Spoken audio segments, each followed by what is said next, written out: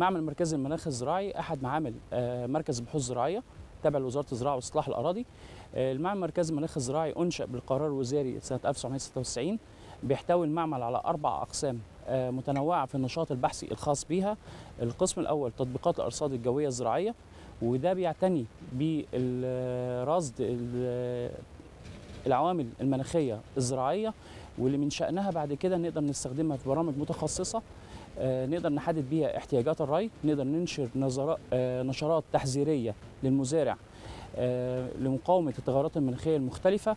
في نفس الوقت عندنا قسم بحوث الزراعه في بدون تربة وقسم بحوث الزراعة بدون تربة تتنوع البحوث بتاعته ما بين آه، بحوث زراعة المدن ودي الخاصة بزراعه الأسطح. وفي نفس الوقت عندنا بحوث الزراعه آه، بدون تربة في الصوب للإنتاج التجاري. في عندنا قسم بحوث الزراعة البيولوجية وده بيعتني بكل النشاطات البحثية الخاصة بالزراعة الحيوية. وبرضك مع نشاط القسم بيتم زراعة أنواع مختلفة من المشروم كمصدر غذائي آه، طبيعي وصحي. في القسم الأخير قسم تعديل المناخ وده بيختص بتعديل المناخ الدقيق اللي موجود في سواء الصوب الزراعية سواء في البيوت المحمية سواء في الحظائر. آه، وده بيختص بإيه؟ الإجراءات المتبعة في عملية تعديل ال- ظروف المناخ الدقيق في البيوت المحمية. المعمل المركزي المناخ الزراعي بتتنوع أنشطته البحثية والإرشادية بيقدم الم- المعمل المركزي المناخ الزراعي مجموعة كبيرة من الدورات التدريبية اللي بتهم المزارع وبتهم حتى المواطن العادي من خلال آه، دورات خاصة بالزراعة فوق أسطح المنازل ودي بتهم المواطن العادي طبعا أكتر من المزارع. وعندنا برضك بالإضافة لديت آه، في دورات خاصة بالمزارعين.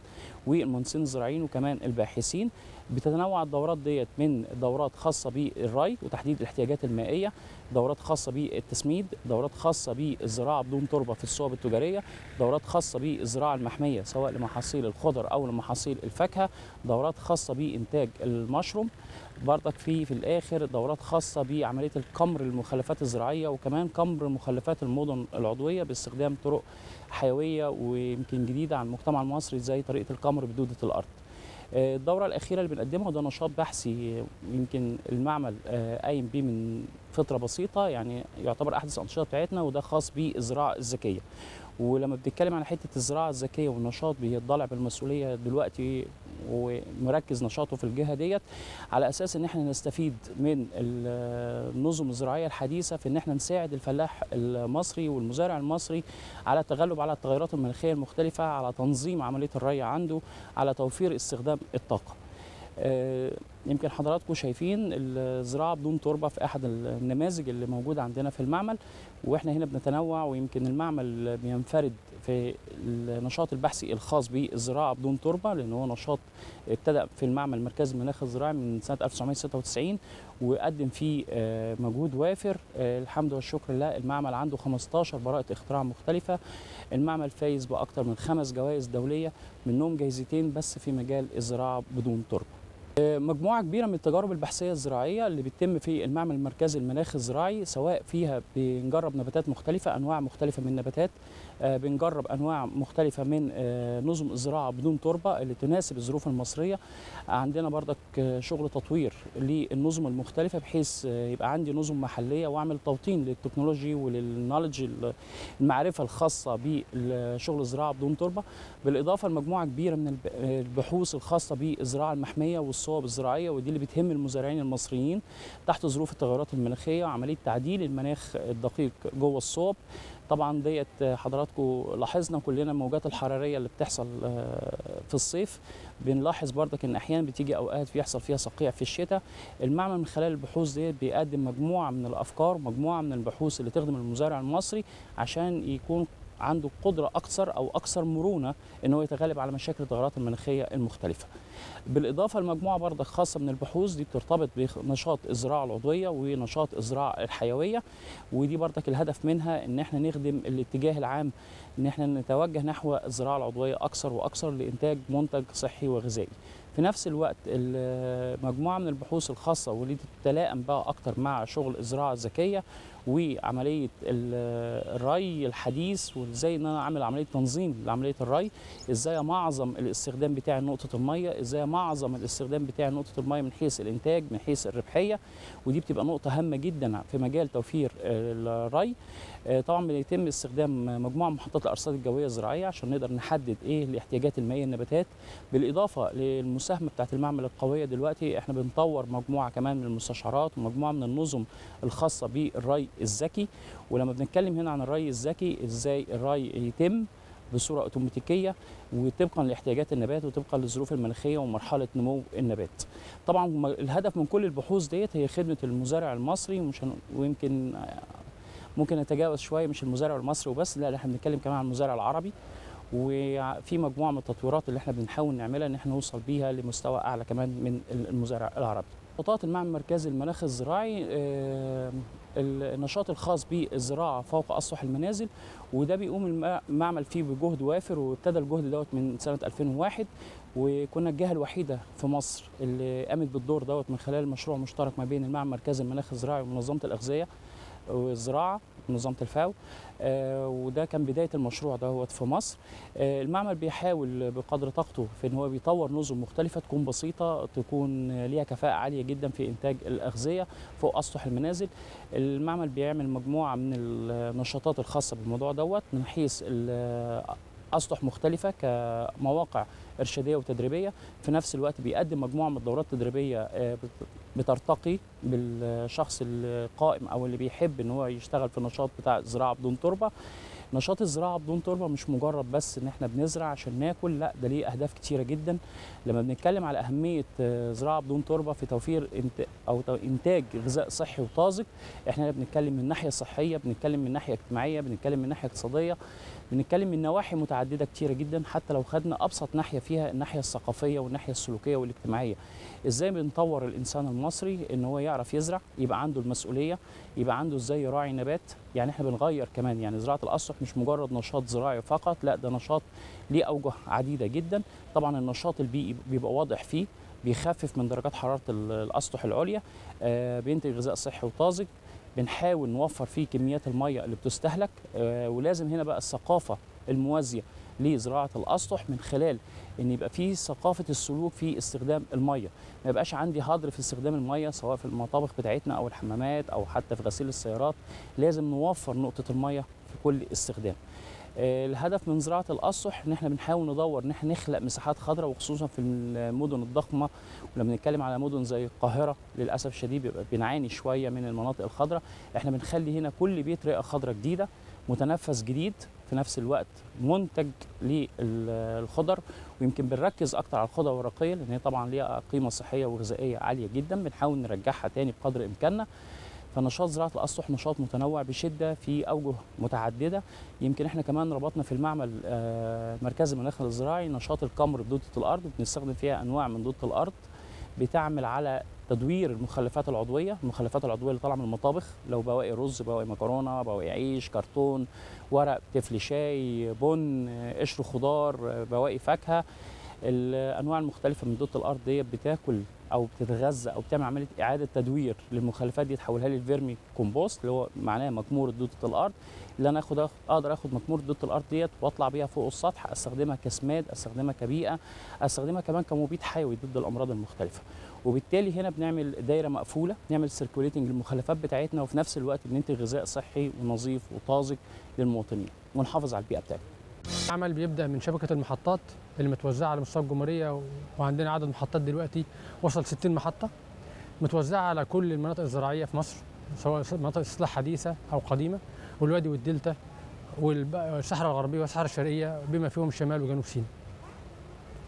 المحطات كلها بتسجل بيانات بتخدم كل المزارعين والباحثين أو حتى المستثمرين ال- في الأراضي الجديدة اللي ناويين أو آه، عندهم استعداد إن هم يستثمروا في مجال الزراعة.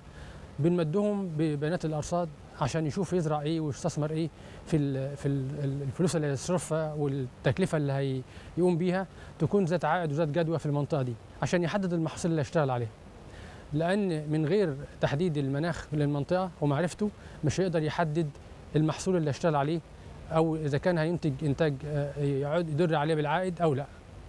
فبالتالي بنغطي كل المناطق الاستصلاح ال- ال- الحديثة وبما فيهم المستقبل مصر والدلتا الجديدة لنا برضو محطات أرصاد. وكل ما توسع في مناطق الاستصلاح الحديثة بنتوسع بمحطاتنا عشان نغطيها ونخدم كل المزارعين. بنمدهم بكل بيانات الأرصاد من حرارة ورطوبة وسرعة رياح وأشعة شمس وكمية المطر.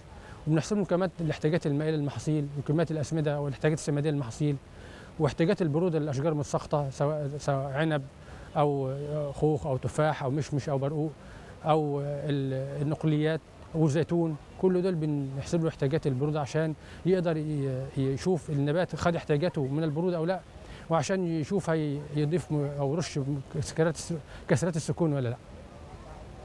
وأيضا يقدر نشوف إيه ال- ال- المحاصيل اللي تجود في المنطقة دي بناء على معرفة آه، آه، بيانات الأرصاد الجوية للمنطقة دي ويشوف هي- يبدا يزرع إيه بالظبط عشان ويشوف ميعاد الزراعة المناسب وميعاد الحصاد المناسب عشان يشوف ال- المعاملات ما بعد الحصاد واذا كان يعمل تصنيع زراعي إذا كان هيشوف هيغطي ال- الكمية اللي ينتجها هتلاقي مجال في السوق عشان تصنيع أو لأ. بمفهوم أيضا آه، المزارعين الص- الصغار المزارعين بنمدهم أيضا ببيانات الأرصاد عن طريق جهاز الارشاد الزراعي اللي عندنا وكمان آه، قناة مصر الزراعية برضو بتذيع نشرات ال- ال- آه، الأرصاد الزراعية للمزارعين على مستوى الجمهورية بحيث إن إحنا نقدر نغطي أكبر عدد وأكبر أماكن ممكنة على مستوى الجمهورية. بما أيضا محطات البحوث الزراعية اللي عندنا المنتشرة على مستوى الجمهورية جميع محطات البحوث عندنا فيها محطات أرصاد وجميع الباحثين اللي شغالين في المحطات دي في الأبحاث بتاعتهم بيستفيدوا من بيانات الأرصاد في التجارب البحثيه عشان آه، يربطوها يربطوا التجارب بتاعتهم بالظروف المناخية. وخصوصا دلوقتي إحنا بن- بنعاني في ظروف التغيرات المناخية. اللي أصبح المناخ غير مستقر. متداخل الفصول دخلت في بعضيها فبالتالي لازم كل باحث أو أو كل مزارع أو كل مستثمر يعرف بيانات الأرصاد والظروف المناخية اللي اتغيرت في المنطقة بتاعته عشان يقدر يوصل لأعلى محصول وأعلى إنتاجية وبالتالي أعلى عائد ممكن. وكمان ننتج محاصيل تفيد التصدير عشان ده هو ده الهدف من كل المستثمرين الكبار وكل هدف الدولة إنها توسع في التصدير فبالتالي ان إحنا نقدر نزرع في أماكن آه، ذات مناخ آه، يجود إنها تطلع آه، الإنتاج يكون مبكر عشان نقدر نصدر في أوقات مبكرة عن بقيه الدول ويكون لنا ميزة نسبية في هذه النقطة.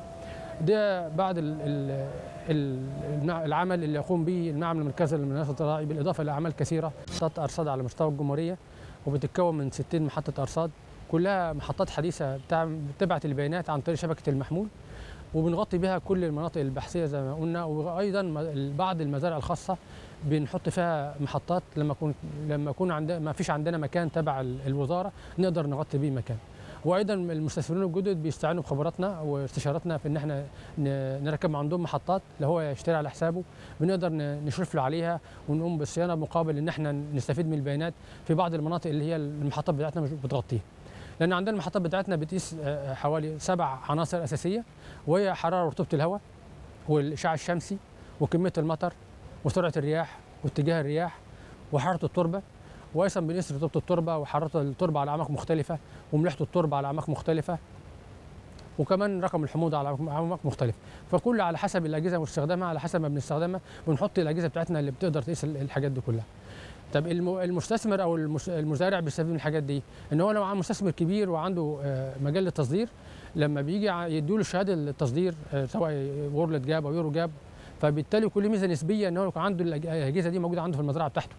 معنى إن هو عنده الأجهزة دي معناه إن هو يكون راجل بيشتغل باسلوب علمي سليم وبينتج آه، ثمار أو محصول جيد وذات جودة عالية. لما بيجي يستخدم المبيدات بيستخدمها كميات قليلة.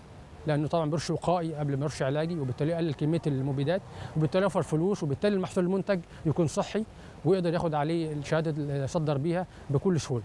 وأيضا بيزيد إنتاجه لأنه هو طبعا بيزرع في الميعاد المناسب ولما يكون يرش سماد آه، بميعاد مناسب هيروي في ميعاد مناسب هيحصد في ميعاد مناسب فكل ده بيوفر عليه ال- ال- الهادر أو ال- الهالك أو الغير صالح للتصدير في ال- في المحصول. بالتالي يكون عنده ميزة نسبية عن غيره من المزارعين اللي ما بيستخدمش نفس الأجهزة دي كلها. طيب الأجهزة دي بتفيدنا إيه؟ آه، بالنسبة لقضية العصر قضية التغيرات المناخية. بتفيدنا إن المحط... الأجهزة دي أو المحطات الأرصاد دي بتسجل لنا المناخ في المنطقة دي على عمر مسافات طويلة جدا آه، 20 30 سنة وبالتالي بنقدر نتبع المناخ في المنطقة دي إذا كان حصل فيه تغيير أو ما حصلش.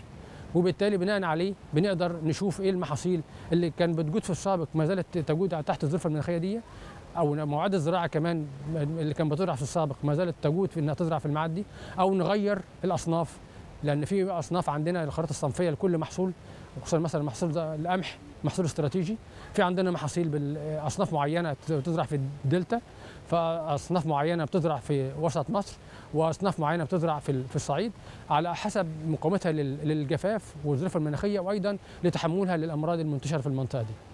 وبالتالي إحنا بنواكب العصر وبنحاول نظبط أمورنا ون ونحدث مع بياناتنا ومعلوماتنا عن موضوع التغيرات المناخية بحيث يكون إحنا سباقين ونوجه المزارع والمستثمر اللي ينفعه في المرحلة دي والمرحلة السابقة أيضا.